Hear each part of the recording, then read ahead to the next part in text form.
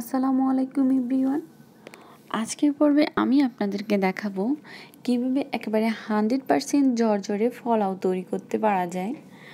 আমার ভিডিওটি যদি ফলো করেন, অবশ্যই আপনারা এরকম সুন্দর করে ঝরঝরে ফলাও রান্না করতে পারবেন। তো ফলাওটা আসলে ছোট, বড় সবারই অনেক প্রিয়, আমারও খুব প্রিয়। তাই আমি এটা আপনাদের সাথে শেয়ার করার জন্য চলে আসলাম। তো ভিউয়ার্স দেখে নিন ফলাও রান্না করার জন্য কি কি লাগে? আমি এখানে দেড় কাপ ফলাওয়ের চালকে সুন্দর করে ধুয়ে পানি ঝরিয়ে নিয়েছি। নিয়েছি দুটা তেজপাতা দুটা দারুচিনি, তিনটা এলাচ। আর লাগছে আমার একটা মিডিয়াম সাইজের পেঁয়াজ, পেঁয়াজগুলো আমি কুচু করে নিয়েছি। লাগছে আমার ঘি এবং তেল। আমি চুলায় একটা পাতিল বসিয়ে দিয়েছি। দিয়ে দিয়েছি এতে এক টেবিল চামচ ঘি আর দুই থেকে তিন টেবিল চামচ সয়াবিন তেল। আপনারা চাইলে শুধু তেল দিয়েও করতে পারেন। আমি জাস্ট স্মেলটা ভালো আসার জন্য ঘি ইউজ করেছি। দিয়ে দিচ্ছি তেজপাতা, দারচিনি এবং এলাচ।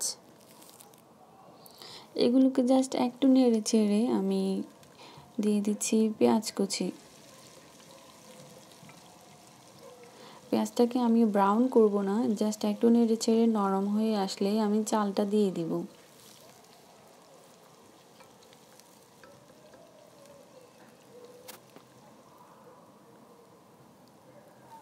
একটু নরম হয়ে গেছে, এখন আমি চালটা দিয়ে এই তেল এবং ঘিয়ের মধ্যে দু থেকে তিন মিনিট ভালো করে ভেজে নিব। আর ফলাউটা ঝরঝরে হওয়ার প্রথম টিপস হচ্ছে আপনারা ফলাওয়ের চালগুলোকে তেল এবং ঘিয়ের মধ্যে একেবারে ভালোভাবে ভেজে নেবেন। দু থেকে তিন মিনিট নেড়ে ছেড়ে ভালো করে ভেজে নেবেন। তাহলেই কিন্তু পোলাওটা ঝরঝরে হওয়ার সম্ভাবনা বেশি থাকে।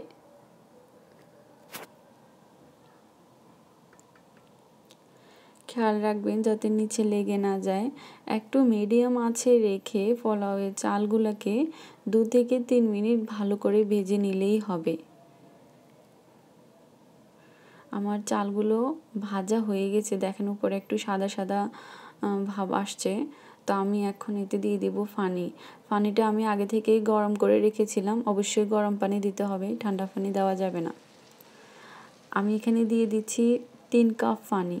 কারণ আমার এখানে দেড় কাপ ফানি, সেজন্য আমার সরি আমার দেড় কাপ চাল, সেজন্য আমি দিয়ে দিচ্ছি তিন কাপ পানি আর ফানিটা অবশ্যই অবশ্যই আপনারা মেপে দিবেন।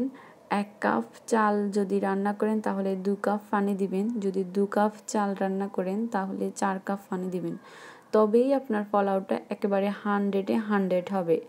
এভাবে করে রান্না করে আপনারা অবশ্যই আমাকে কমেন্টসে জানাবেন আপনাদের পোলাওগুলো কেমন হয়। দিয়ে দিচ্ছি স্বাদ মতো লবণ। লবণটা দিয়ে আমি এখন হাই হিটে রেখে দিয়েছি চুলাটা। জাস্ট পাঁচ মিনিট পরেই ফিরে আসছি। অবশ্যই সময়টা মাথায় রাখতে হবে। ফাইভ মিনিটসের পরে আমি আসছি, দেখেন আমার পানিগুলো শুকিয়ে চালের গায়ে এরকম লেগে লেগে গেছে পাঁচ মিনিটের মধ্যেই। দেরি করবেন না আপনারা। জাস্ট পাঁচ মিনিটের মধ্যেই ঢাকনাটা খোলার চেষ্টা করবেন।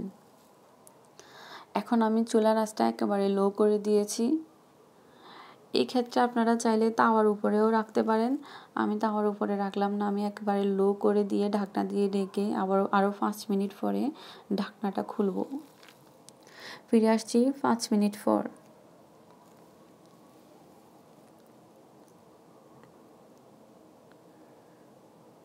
পাঁচ মিনিট পর আমি ঢাকনাটা খুললাম। দেখেন, এখন আমার যে পানি ছিল পোলাওয়ের চালের মধ্যে তা পুরোপুরি শুকিয়ে গেছে। পোলাওয়ের চালগুলা প্রায় এইটি পারসেন্ট এইটি না নাইনটি পারসেন্ট হয়ে গেছে। আমি একটু আলতো হাতে আস্তে আস্তে নেড়ে দিচ্ছি, না হয় ফলাগুলো কিন্তু ভেঙে যেতে পারে। ঝরঝরে ফলাও আপনাদেরকে যদি আপনারা যদি তৈরি করতে চান, অবশ্যই প্রত্যেকটা স্টেপ মাথায় রাখতে হবে। না হয় কিন্তু পোলাওটা কখনোই ভালো হবে না। আস্তে আস্তে করে এখন এই মুহূর্তে নাড়বেন, না হয় কিন্তু পোলাও চালটা ভেঙে ফলাগুলো নষ্ট হয়ে যেতে পারে। একদম পারফেক্ট ফলাও হবে না। আবারও আমি এগুলোকে ঢেকে পাঁচ মিনিট রেখে দিলাম। পাঁচ মিনিট পরে আমি আবার ঢাকনা খুললাম, দেখেন। এখন পুরোপুরি আমার ফলাউটা হয়ে গেছে।